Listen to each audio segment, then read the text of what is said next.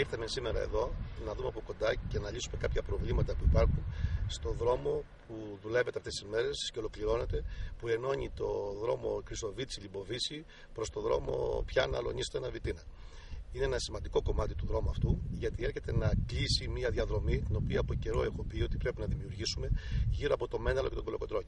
Έχω πει επανειλημμένω ότι πρέπει να υπάρξει μια τουριστική διαδρομή η οποία θα ξεκινάει κάποιος από την Τρίπολη να βλέπει τον τάφο του Κολοκοτρώνη, να πηγαίνει σπήλα κάψα, να οδηγείται προς το Λεβίδι, πατέρα του Αναστασίου, και από εκεί και πέρα να προχωρήσουμε προς τη Βιτίνα, Δημητσάνα, ιστορική Δημητσάνα, Στεμνίτσα, τα μοναστήρια του Λουσίου, να φτάσουμε στο Χρυσοβίτσι, στο Δασικό Μουσείο και από το Χρυσοβίτσι λοιπόν να πάμε στο Λιμποβίτσι και από το Λιμποβίτσι να ολοκληρώνουμε τη διαδρομή προς το δρόμο της Αλονίστενα και μετά τρίκορφα Τρίπολη.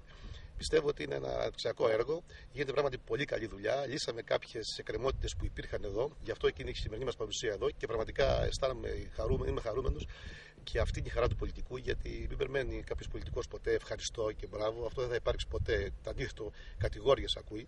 Αλλά αυτό που ικανοποιείται κάποιος είναι όταν βλέπει και υλοποιείται κάτι το οποίο έχει βάλει στόχο από την αρχή και έχει παλέψει γι' αυτό. Γιατί οι πολίτες δεν καταλαβαίνουν τι μεγάλη προσπάθεια χρειάζεται για να γίνει κάποιο έργο. Το πρώτο και κύριο είναι να βρεις πόρους. Και όλοι καταλαβαίνετε στην εποχή τη σημερινή, την τόσο δύσκολη εποχή, πόσο δύσκολα είναι να βρει κάποιος χρήματα να κάνει έργα. Η προσπάθεια που κάνει ο Περιφερειάρχης, ο Τατούλης, ο Πέτρος και όλοι μας για εξοικονόμηση πόρων είναι πάρα πολύ μεγάλη.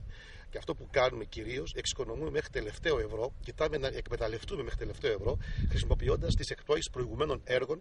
Για το 2013 δεν έχουν καθόλου χρήματα. Έτσι λοιπόν χρησιμοποιούμε εκπτώσει προηγουμένων έργων και υλοποιούμε νέα έργα.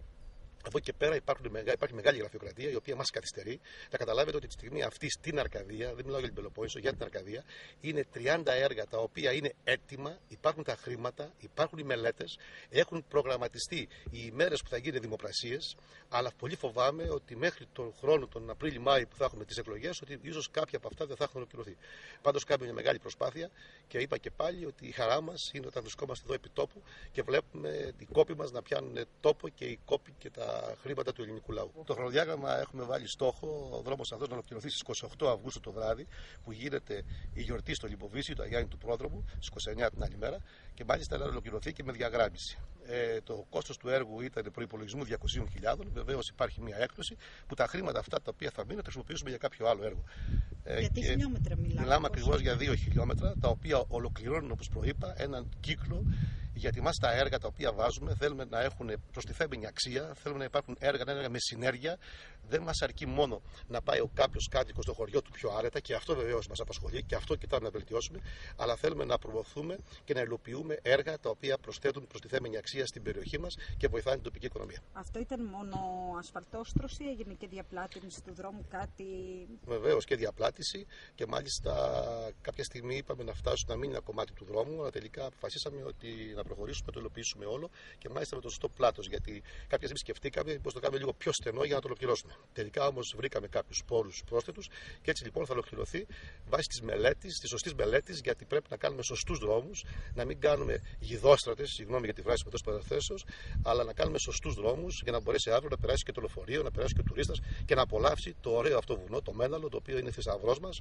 Γιατί το Μέναλο δεν είναι μόνο τα δάση, δεν είναι μόνο το Ιωστρακίνα, το Μέναλο περιέχει μέσα γραφικούς οικισμούς, έχει ιστορικά σημεία όπως το Λιμποβίση, έχει τα μοναστήρια μας, έχει το δασικό μουσείο, όπως προείπα, και πρέπει λοιπόν ο κόσμος να το απολαμβάνει. Εμάς από εκεί και πέρα λοιπόν καθήκον μας είναι να διαφημίσουμε τη διαδρομή αυτή, την τουριστική διαδρομή γύρω από το Μέναλο και τον Κολοκοτρόνη, για να μπορέσουμε να προσεγγίσουμε κόσμο ώστε να βοηθήσουμε την τοπική μας οικονομία. Εγώ είπα ότι πραγματικά κάνουμε μια μεγάλη προσπάθεια, δεν γυράει πλέον το χρήμα όπως κάποτε. Προσπαθούμε και βγάζουμε και από τη μίγα ξύγκη, θα πω αυτή τη φράση αυτή του λαού μας, για να μπορέσουμε να λύσουμε όλα αυτά τα προβλήματα.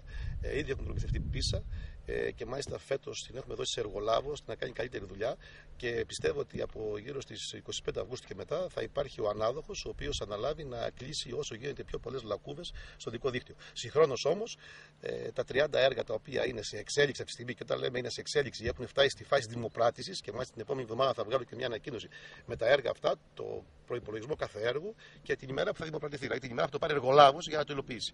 Ε, το κακό στην Αρκαδία είναι ότι η περίοδος η χειμωνιάτικη είναι μεγάλη. Εάν δεν προλάβουμε μέχρι τον Νοέμβριο και αν κάνει καλό καιρό να υλοποιήσουμε τα έργα, πλέον ξεκινάμε μετά το Μάιο. Γιατί η χειμώνας είναι μια νεκρή περίοδος για έργα στην Αρκαδία. Προσπαθούμε στο χειμώνα να προετοιμαστούμε, αλλά τα εμπόδια είναι τόσο μεγάλα, τόσο μεγάλα τα οποία μας ταλαιπωρούν κάθε μέρα και μας εξαναγκάζουν κάθε μέρα να παίρνουμε δεκάδες τηλέφωνα για το αυτονόητο, να προωθήσουμε κάποιες καταστάσεις και να ξεπεράσουμε κάποια εμπόδια τα οποία προκύπτουν καθημερινά.